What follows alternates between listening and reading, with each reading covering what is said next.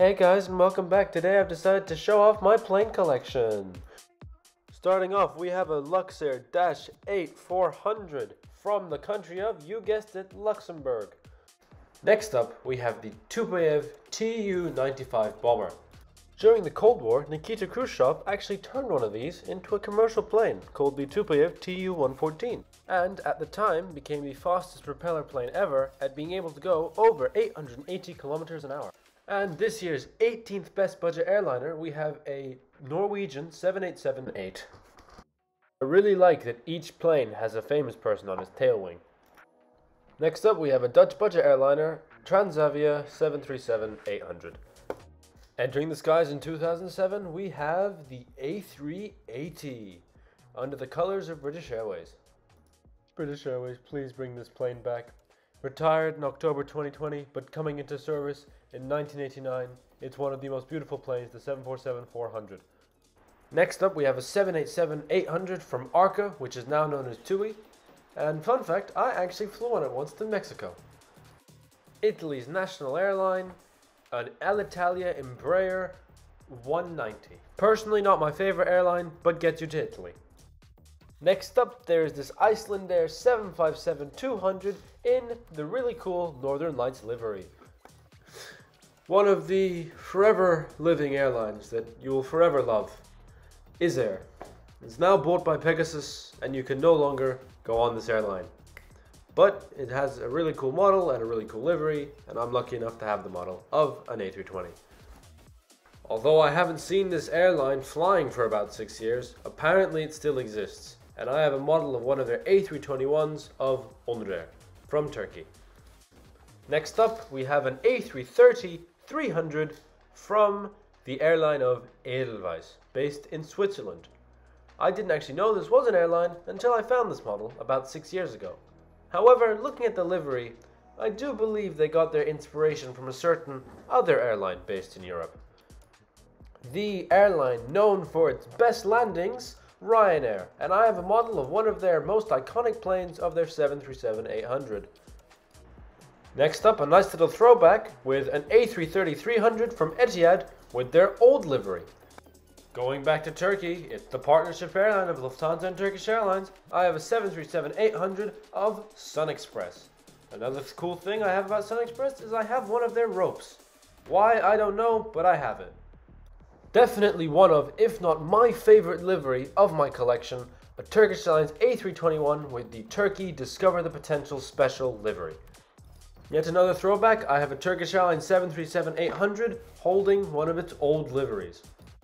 Moving to the smallest in my collection, I have an A330-300 from Turkish Airlines, a 757 from Uzbekistan Airlines, and one of the cutest in my collection in my opinion, an A320 from Silk Air which is an Indonesian airline. One of the coolest in my collection, it takes off and lands like a helicopter, but flies like a plane. It's the MV-22B Osprey in the presidential colors for America. One of the greatest bits of engineering, we have the Air France Concorde, designed by British and French engineers.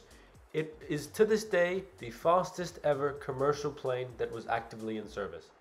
Of course, since the Concorde was built during the Cold War, the Soviets had their own counterpart with the like of the Tupolev 144. It also had its own nickname called the Concordski.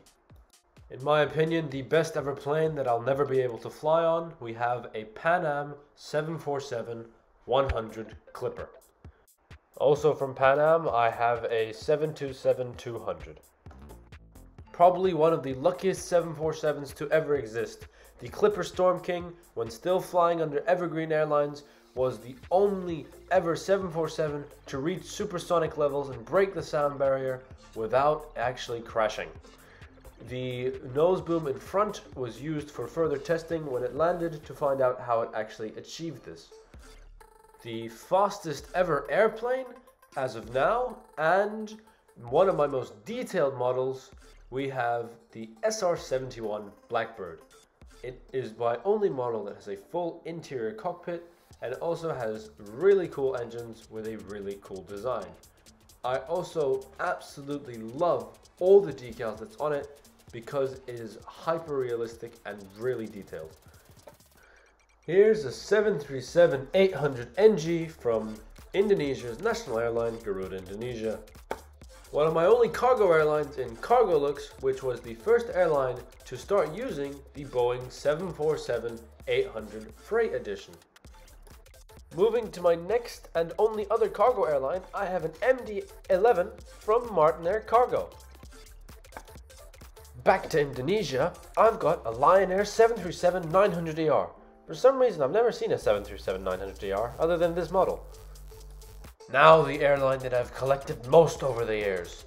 I have a KLM 747-400, a KLM Embraer 190, a KLM MD-11, a KLM Convair CV440, a KLM Lockheed L749A Constellation, a KLM A330-300, a KLM A350, a KLM Fokker 100, a KLM 737-800, a KLM 777-300, a KLM 787-800, and to finish it all off, a KLM 100 year special livery 787-1000. Anyways guys, that was my collection and I hope you enjoyed.